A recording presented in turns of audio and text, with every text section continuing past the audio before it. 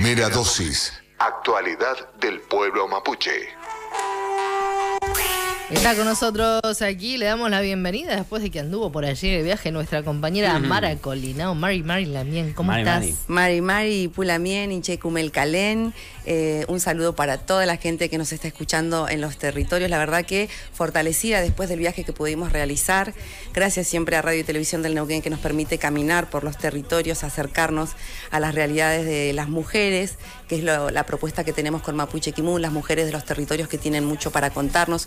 Fue un viaje muy fortalecedor. Pudimos estar visitando el Love Quintriqueo. Eh, vamos a tener novedades en, el- en la columna sobre algunas cuestiones que están sucediendo allí, pero en principio lo que les traigo para contarles es la situación, mm, recuerdan, de Natividad Antual, lo hemos tratado aquí en el programa, la situación de dos lamien de la zona de Río Negro.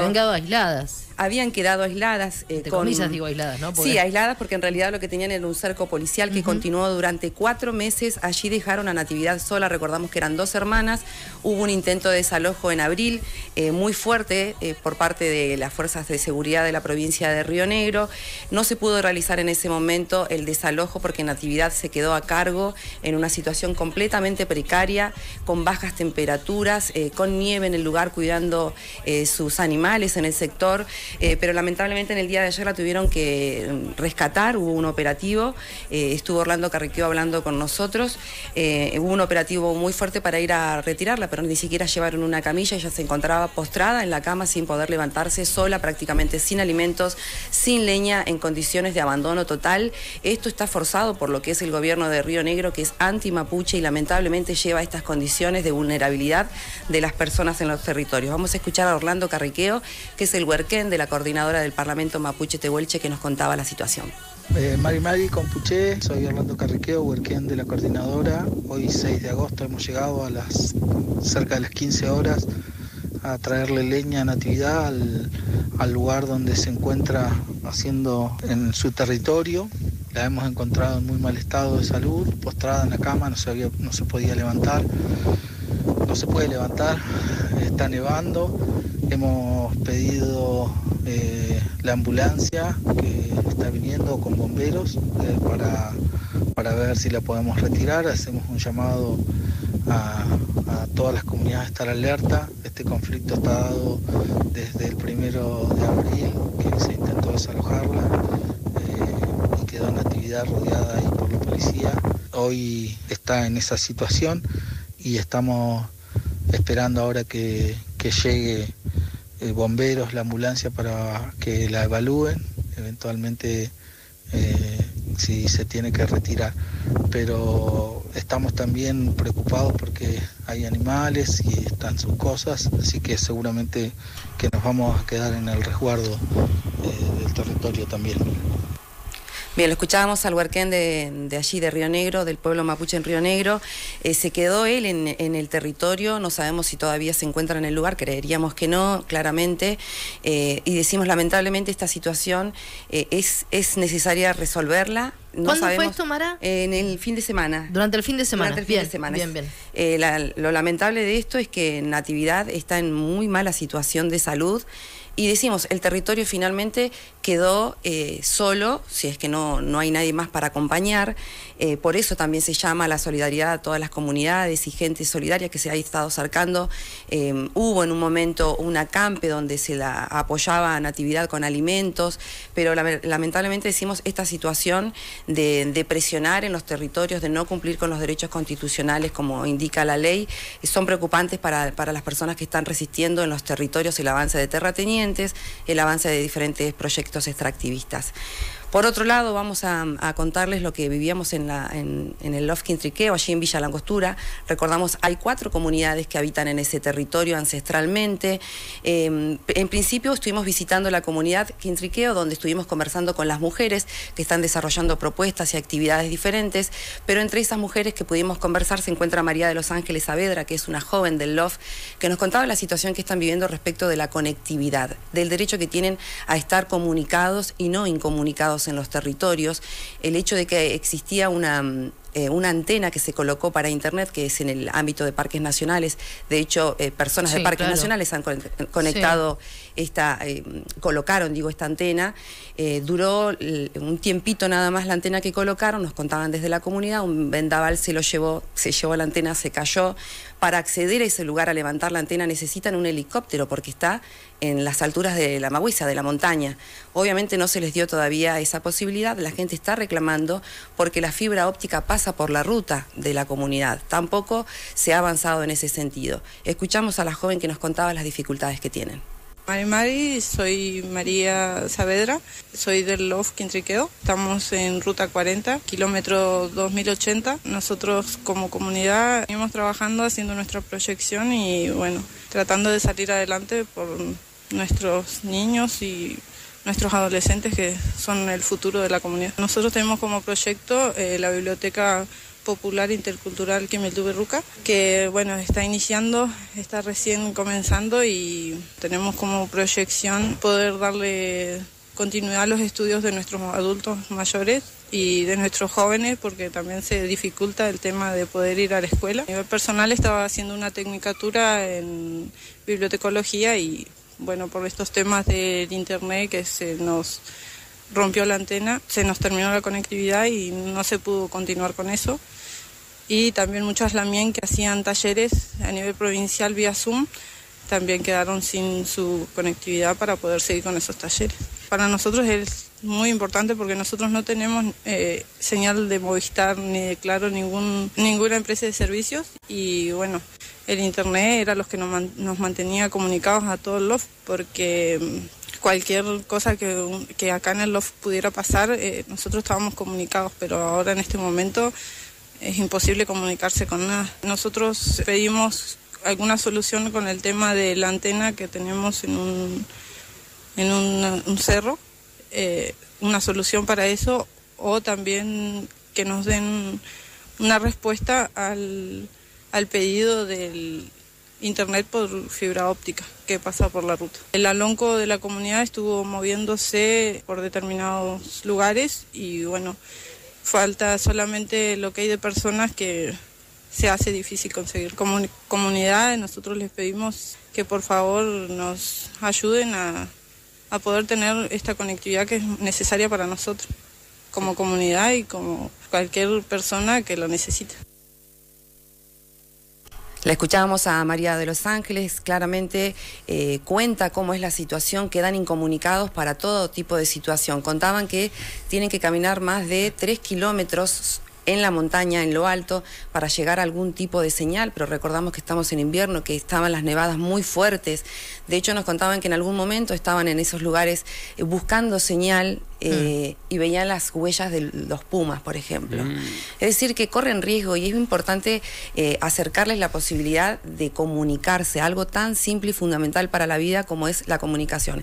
Están contando, se están formando, están tratando de proyectarse en estudios, están con esta situación, cuatro meses sin poder avanzar en eso también. Así que eh, pedimos, hacemos extensivo el pedido de la comunidad, a quien corresponda, si son eh, autoridades de parques nacionales o a quien corresponda, que den una respuesta porque es fundamental poder tener comunicación en un espacio tan retirado de la ciudad. Claro que sí. Por otra parte, también seguimos en el Love Quintriqueo, decimos la, la verdad que preocupa eh, visitar a la gente y saber que se están proyectando y que tienen proyectos interesantes para compartir y que estén viviendo estas situaciones día a día. Mientras nosotros nosotras conversábamos con Amancay Quintriqueo, que es la lonco de la comunidad Quintriqueo, eh, sobre cómo justamente están avanzando en la proyección comunitaria, en el territorio, con propuestas interesantes eh, para compartir con toda la sociedad. Le llegaba la orden de desalojo nuevamente eh, para un sector de su territorio, que es el Pedregoso, que comparten también con la LOF Melo. Es decir, que nuevamente tienen que correr este riesgo de inseguridad, de no saber si va a llegar eh, policía, represión o si efectivamente se va a llevar a cargo esta orden.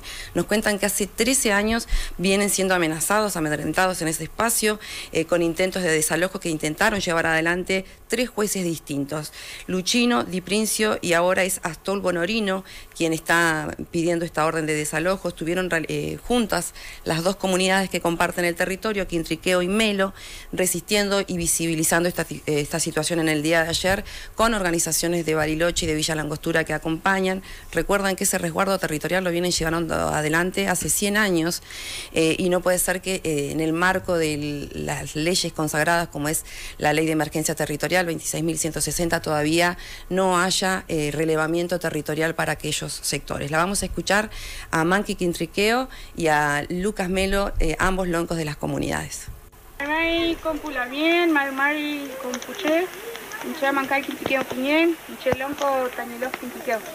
Hola a todos, a toda la audiencia en general, a los hermanos mapuche de este territorio.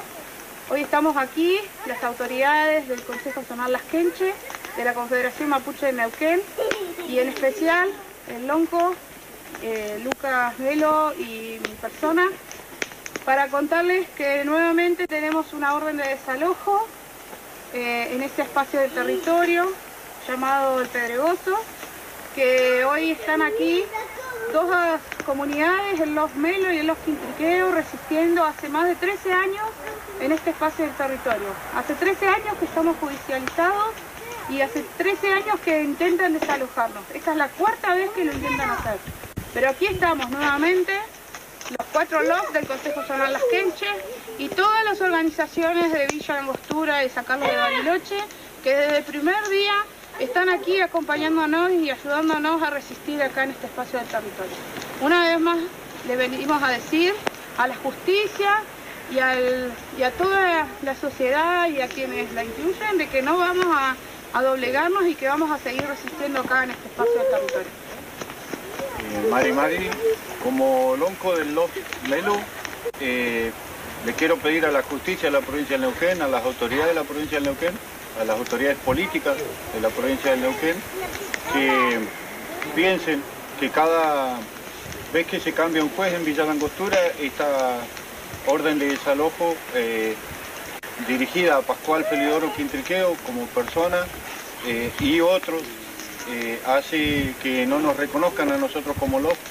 El LOF Melo y el LOF Quintriqueo están reconocidos en la zonal, en la Confederación Mapuche del Neuquén y en el Comanejo de Parques Nacionales. Por lo tanto, eh, como LOF constituido, exigimos primero que se nos reconozca y segundo que eh, aclaramos que vamos a defender el territorio como lo hemos hecho siempre y no vamos a claudicar frente a una injusticia como un desalojo dictado cada vez que se cambia un juez. Eh, estamos determinados como Mapuche a defender este territorio y todos los territorios que tengamos que defender. Cualquier cosa que nos suceda aquí en el territorio haremos responsable al Estado provincial y al Estado nacional, ya que acá están incumpliendo porque no tenemos aún una comunidad registrada con personalidad jurídica que es en Los Melos y aún no tenemos el relevamiento territorial en el Love Paichilantreo, en el Love Quintupuray, en el Love Quintriqueo y en el Love Melo. Así que tanto el Estado Nacional como provincial son responsables de no aplicar los derechos constitucionalizados a lo que tiene que ser con los derechos del pueblo mapuche. Así que ustedes serán responsables si aquí, en este territorio, le pasa algo a algún integrante de nuestras comunidades. ¡Ya, ya, ya!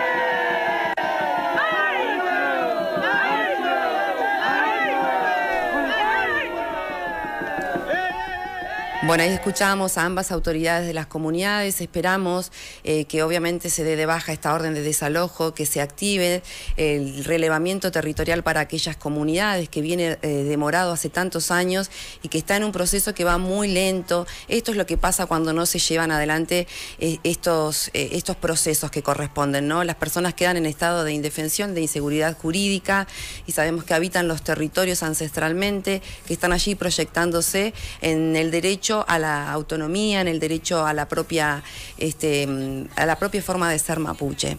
Tal cual. Así que, bueno, mucho buen para la gente allí en el territorio. Vamos a estar seguramente siguiendo el tema. Lo que les propongo para el día de mañana es conversar sobre lo que está pasando con eh, la declaración de sitio sagrado del Pillán Magui Salanín. Sabemos que es el tema que en, esta, en estos días eh, ha estado en, la mirada de, no solamente aquí de, la provincia, sino a nivel nacional.